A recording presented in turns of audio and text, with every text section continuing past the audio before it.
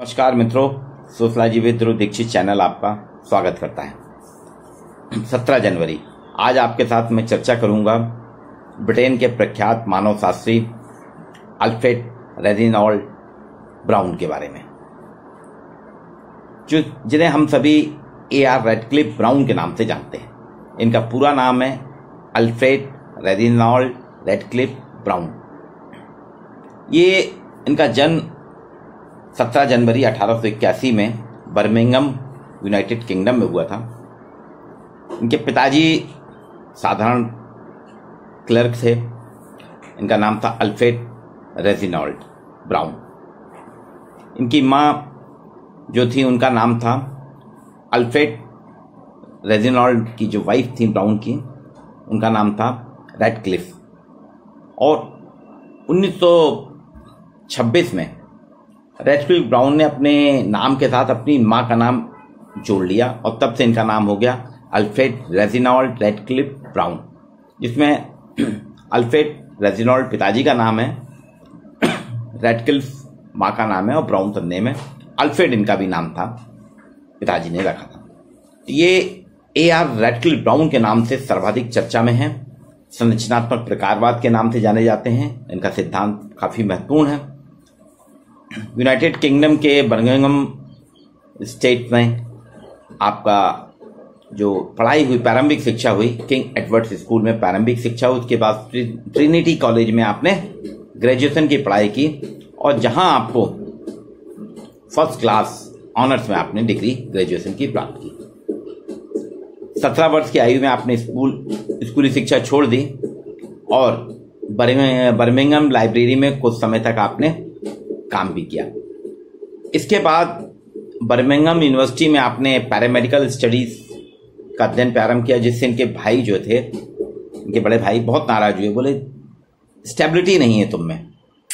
ये प्राकृतिक विज्ञान से काफ़ी प्रभावित थे उस वक्त नेचुरल साइंस से काफ़ी प्रभावित थे और ट्रिनिटी कॉलेज में आपने मॉरल साइंस के छात्र के रूप में शुरुआत करी और कैम्ब्रिज में आप वहाँ पे जो एक प्रख्यात मनोवैज्ञानिक थे डब्ल्यू एच आर रिवर्स उनके संपर्क में आए।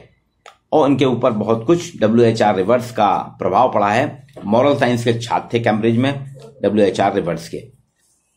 1906 से 1908 में ब्राउन ने इंडियन ओशियन के जो अंडमान द्वीप समूह है, इसमें अपना पहला क्षेत्रीय अध्ययन किया था। 1906 और 1908 में रेडफिल ब्राउन ने भारतीय हिंद महासागर का जो अंडमान द्वीप समूह है, जहाँ पे जनजातियाँ हैं, काफ़ी प्रिमिटिव ट्राइब्स हैं, बहुत सीमित संख्या में हैं, उनका इन्होंने पहला क्षेत्रीय अध्ययन किया था और 1922 में उनके इसी अध्ययन का पहला क्लासिकल मोनोग्राफ अंडमान आइसलैंडर प्रकाशित हुआ।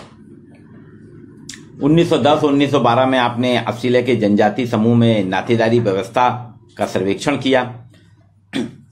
और इनका बहुत ही ब्राइट फ्यूचर था। 1916 में आप टोंगा में, दक्षिण अफ्रीका टोंगा में डायरेक्टर ऑफ़ एजुकेशन बने। 1921 से 1925 में आप कैपटाउन यूनिवर्सिटी में मानव विज्ञान के प्रोफेसर थे। फिर 1925 से 1931 में सिडनी विश्वविद्यालय, ऑस्ट्रेलिया में आप प्रोफेसर थे। 1931 1931 से 1937 तक शिकागो विश्वविद्यालय में भी आप प्रोफेसर थे।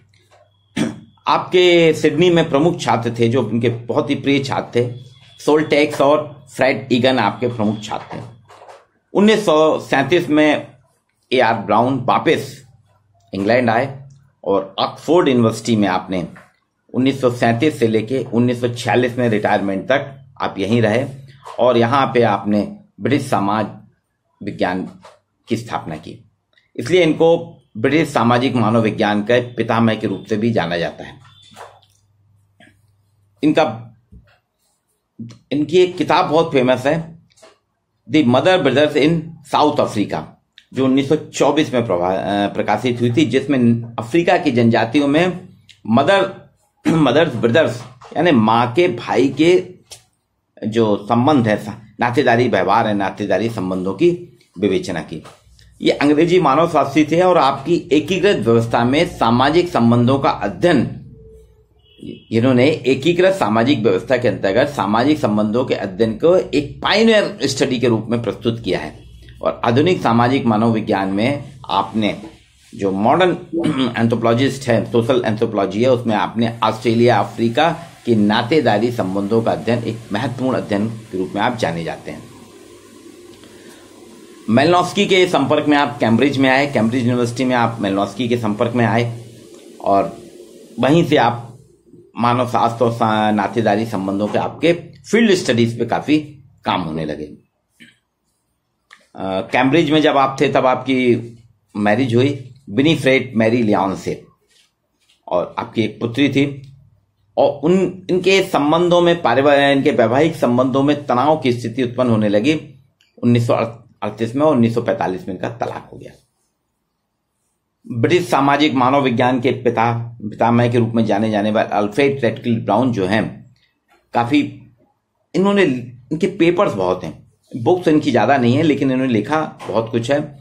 और 24 अक्टूबर 1955 को यूके बर्मिंगम लंदन में ही आपका निधन हो गया।